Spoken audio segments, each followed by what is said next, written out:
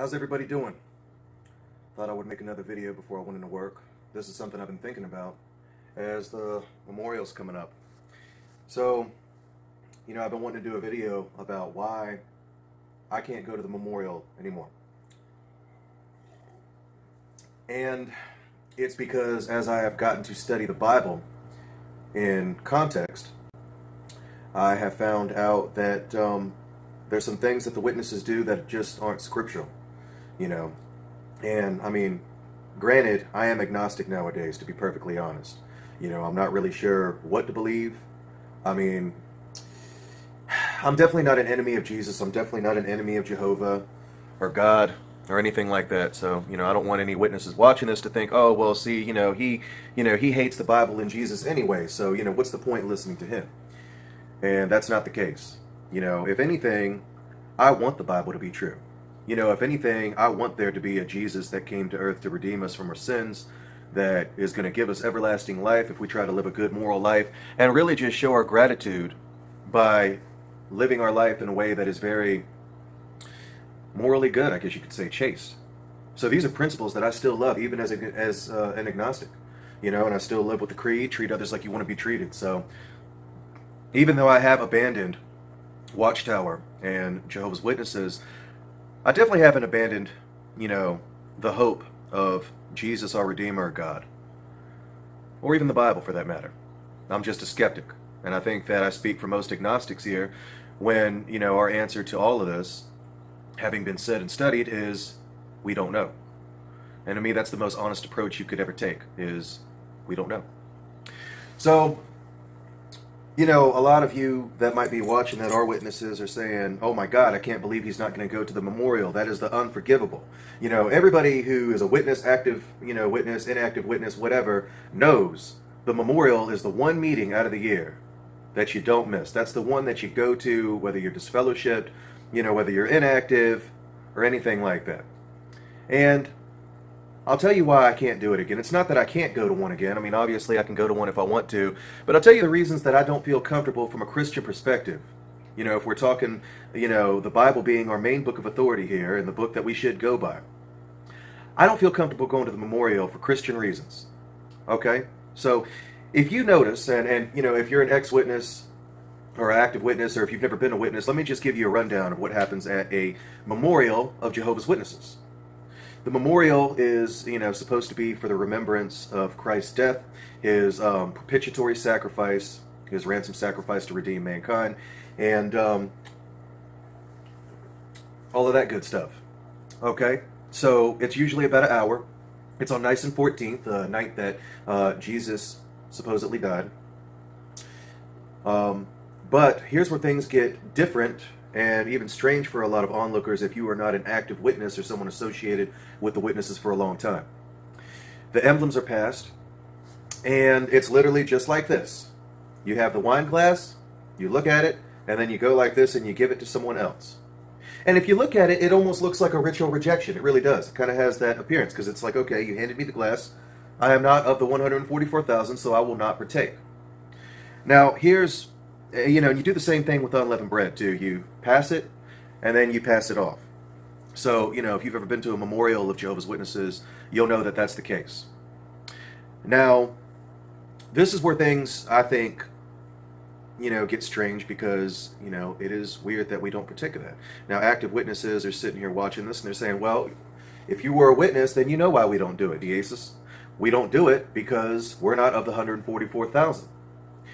Here's the problem with that, witnesses. Did you know that we, as an official doctrine, uh, you know, we as, as witnesses, I say we, but did you know that, you know, official Jehovah's Witness doctrine, official governing body and watchtower doctrine is that Christ is not your mediator, and that's why you do not partake. Because Christ isn't your mediator. He is the mediator for the 144,000. Now, I know you guys are very attached to this teaching, and I was too, but the truth is, it isn't a scriptural teaching. First of all, the 144,000 were, you know, the Jews. And that's why right after that number is mentioned in Revelation, it also mentions the tribes that the 144,000 come from. There is no future fulfillment of this. They were talking about the natural Jews. You know, it's not fair that Watchtower gets to dictate, oh, well, you know, the 144,000, you see, that was literal. But, you know, the tribes mentioned right after that, well, see, those are figurative. You see, they don't get to decide that because they're not inspired. And they claim that they're spirit directed, but that's the same thing. Either way, they're not inspired, so they can't know this. Because there is no further description or elaboration uh, or fulfillment of this. It simply is what it is. You either accept it or you don't. And I'm sorry if this upsets a lot of witnesses that are watching this, but this, these are just the facts. This is just the reality of the situation. So, there was a few things I wanted to show you guys here about this, uh, you know, memorial stuff. Uh, for the witnesses that are watching this that don't believe me, there's a couple of things I want to show you real quick. All right, so I don't know if you can see this, but if you look up, um, this is the Watchtower Online Library. Now, all of you witnesses, you know about this. Okay, I still have it. Um, if you look up mediator and you read around in the Watchtower Online Library, there is, um, if I'm not mistaken, I could be wrong here. This is a screenshot, but the desire for peace and security worldwide, uh, Watchtower Online Library. I'm not exactly sure where this is, but you can look it up for yourself. But I'm going to read it to you. Now, this is straight from Watchtower. This is not from an apostate site. This is not from some uh, anything like that. This is no distortion of facts. That this has not been reworded or anything like that. So before you JWs freak out, this is straight from the horse's mouth, and I'm going to read it to you. It says, um, this is paragraph 16 of a lesson, the desire for peace and security worldwide. Um, I forget exactly what lesson it is. I can't find it. It's a screenshot. My apologies.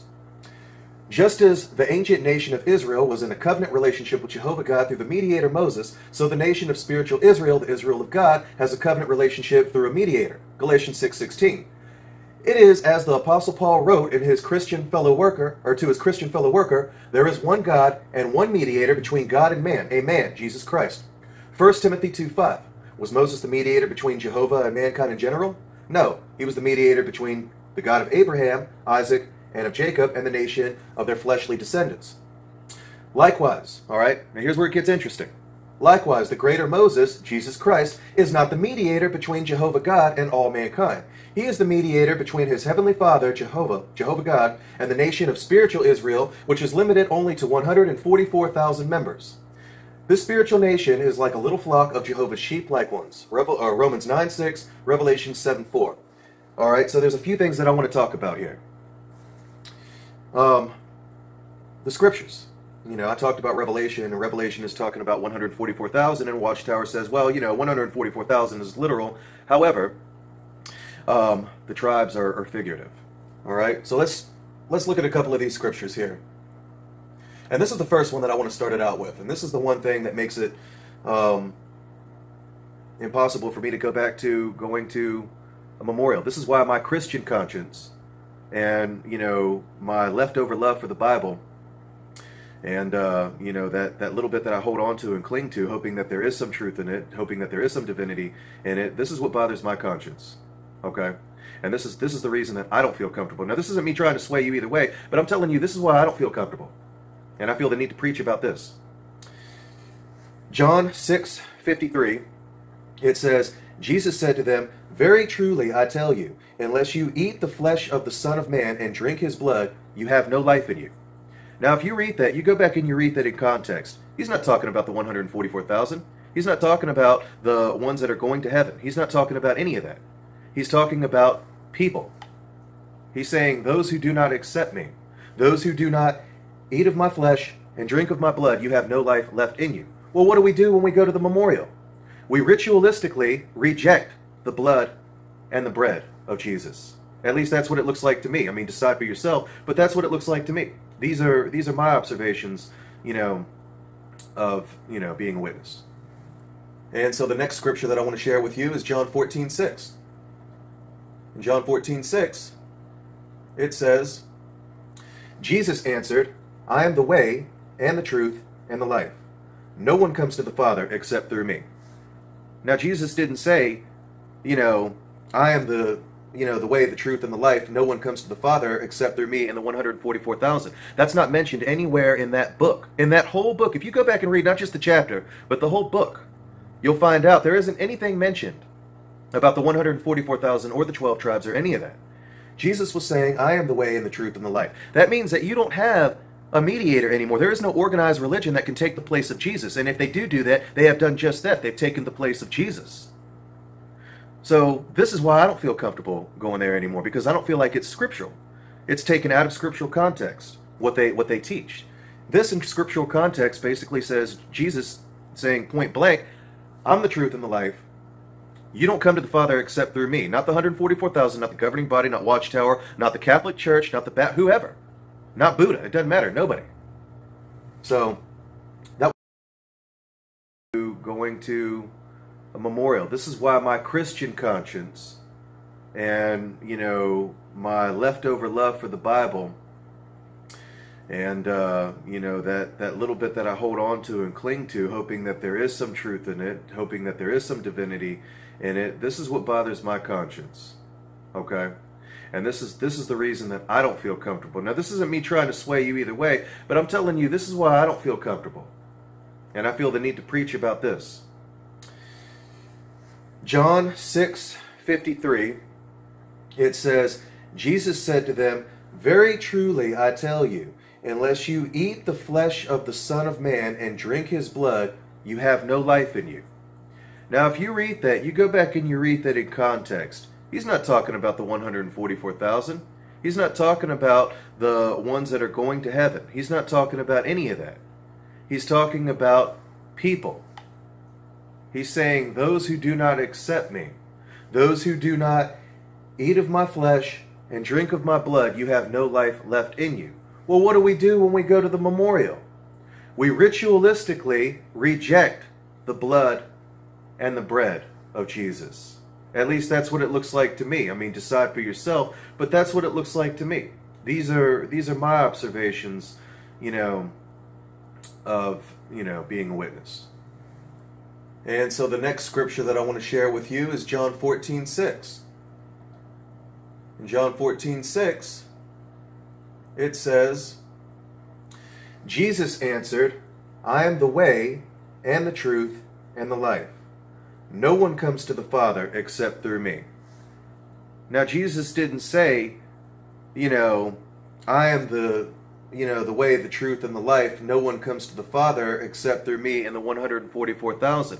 That's not mentioned anywhere in that book. In that whole book, if you go back and read not just the chapter, but the whole book, you'll find out there isn't anything mentioned about the 144,000 or the 12 tribes or any of that.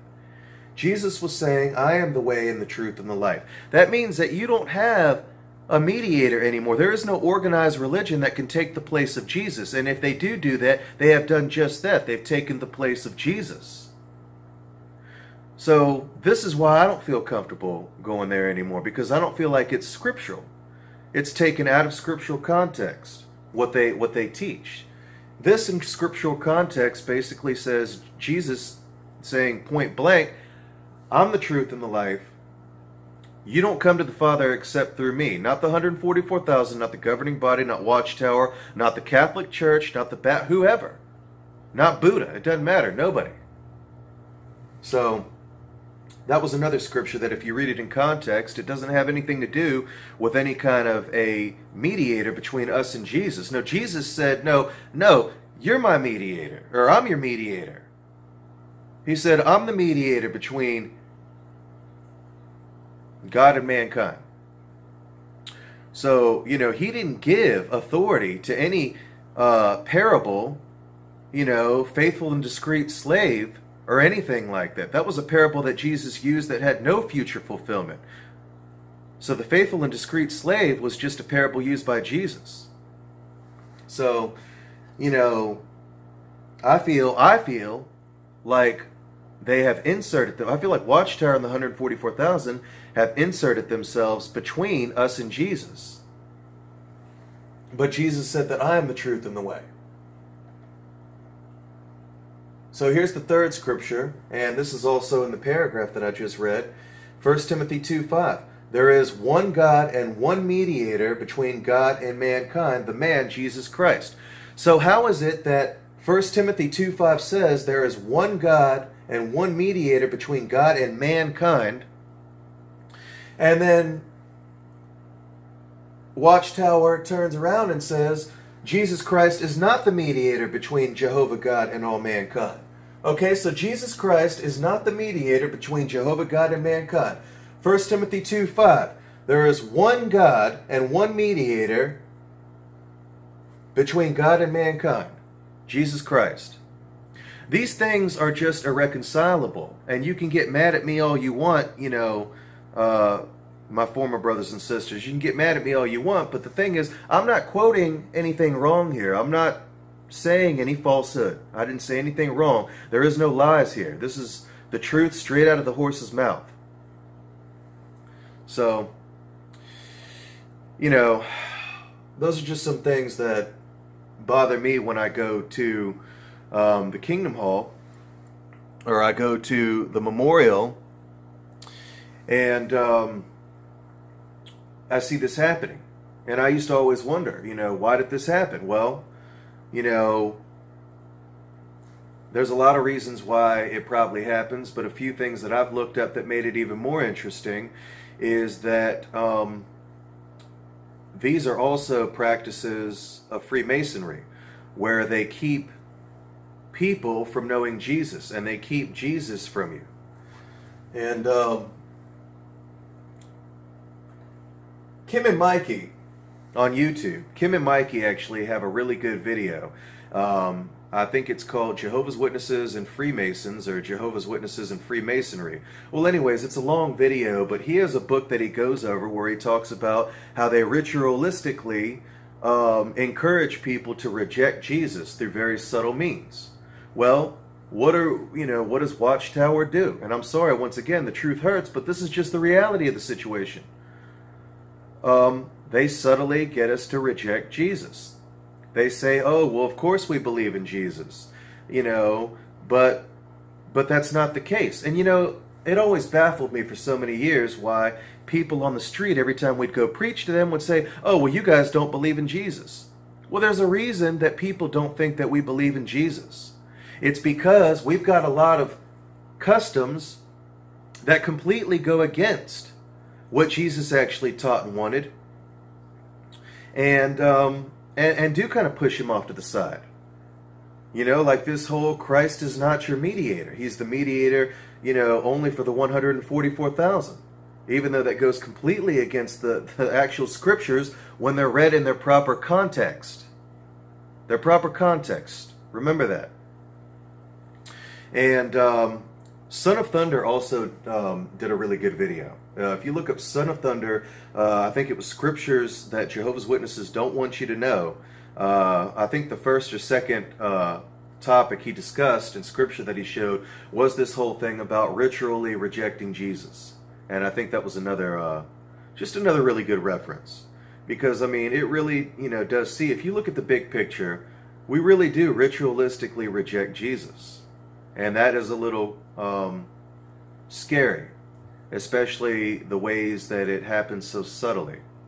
Another thing that's interesting is that if you go to the Jehovah's Witness glossary, and, and all of this, like I said, I have not said one thing false. So, my brothers and sisters, people at the Kingdom Hall, all of you are more than welcome to do this research for yourself. You can look at it and see it for yourself. This is no propaganda. This is no altered, apostate, half-truth literature. This is straight out of the horse's mouth and the straight up truth. But if you go to the glossary, the Jehovah's Witness glossary, Jehovah, Jews, Jesus is not in the glossary. Why is Satan in the glossary, but Jesus is not in the glossary? Why do we not partake if Jesus told us to partake?